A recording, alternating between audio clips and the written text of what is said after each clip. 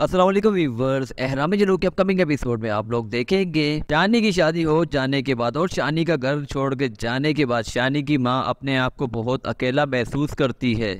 और इसी के साथ नादी अपनी माँ की हालत देखकर बहुत परेशान हो जाती है और अपनी माँ से कहती है, आखिर ऐसी क्या वजह बनी है जो आपको मैं इतना परेशान देख रही हूँ? इसी के साथ जवाब में शानी की माँ नादिया से कहती है हमसे बहुत बड़ी गलती हो गई है। शानी ने हमें कितनी दफ़ा समझाने की कोशिश भी की है और ये बताने की कोशिश भी की है कि वो हमसे दूर हो जाएगा, लेकिन मैंने उसकी एक भी ना सुनी। और आखिरकार आज मैं अपने लखते जिगर को खो बैठी हूँ, अपने हाथों से मैंने उसको दूर कर दिया। इसी के जवाब में नादी अपनी माँ से कहती है परेशान ना हो, शानदे बहुत अच्छी लड़की है। कुछ दिन उनको अकेले रहने दे, उसके बाद शानी और शानदे दोनों यही शिफ्ट हो जाएँगे। इसी के साथ जवाब में नादिया की माँ नादिया से कहती है, अब ऐसा मुमकिन नहीं है, तुम शानजे के वालदेन को नहीं जानती हो। और अगर शानजे भी ऐसा चाहती तो वो पहले ही अपने घर वालों को बता देती, लेकिन वो भी शानी के साथ अकेले रहना ही पसंद करती है। इसी के साथ जवाब में नादिया कहती है, आप परेशान ना हो, सब ठीक हो जाएगा। क्या अच्छा लगा, क्या बुरा लगा? कमेंट सेक्शन में अपनी कीमती राय से ज़रूर आगा करें।